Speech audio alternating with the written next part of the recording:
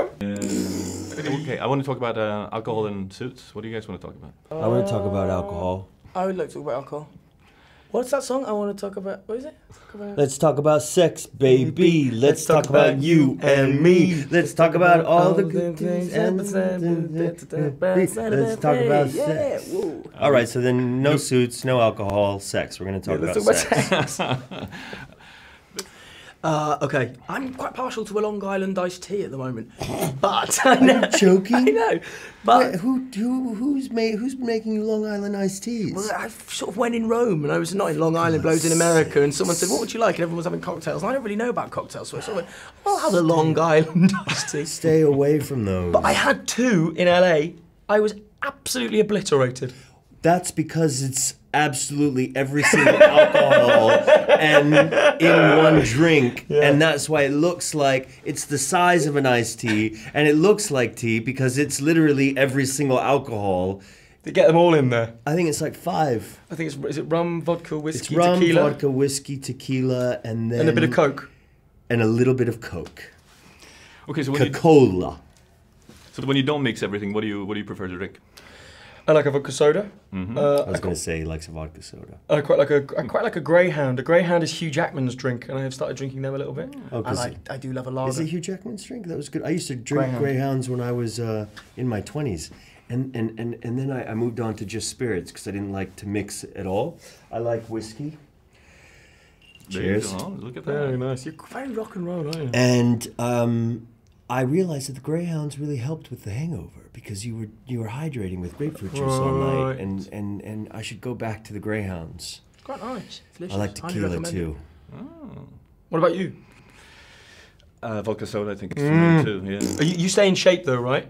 You, that's that's the drink that Not people when I drink drink when they're that. trying to stay in shape. I do it very. But you got to stay away from the colored drinks, right? That's what gives you a hangover, isn't it?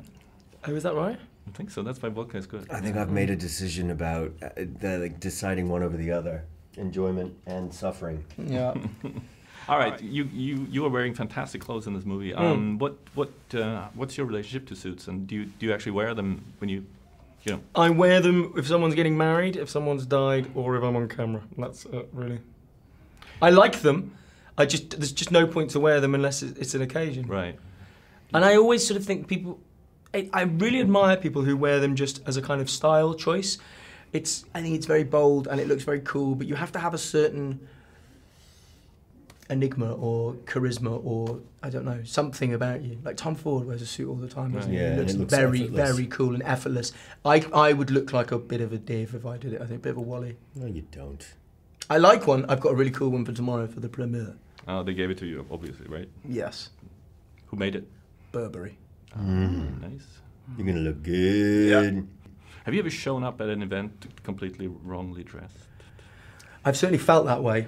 I've certain I because I'm not naturally a snappy dresser. I'm answering all the questions. Go on, sorry, brother. I'm Keep talking. I'm off on off on one. Um, what have I ever shown up to uh, inappropriately You know, dressed? for, for for most people, it's a nightmare, right? You show yeah, up. and you're yeah, yeah. I was I was Sarah Paulson's date to um to something, and um, I walked in, and she looked at me. I was like in a denim jacket or something, and she she was literally and she like you know she was getting ready, and somebody was like putting some makeup on her, and she looked over at me to the left, and she was like, "Really, really."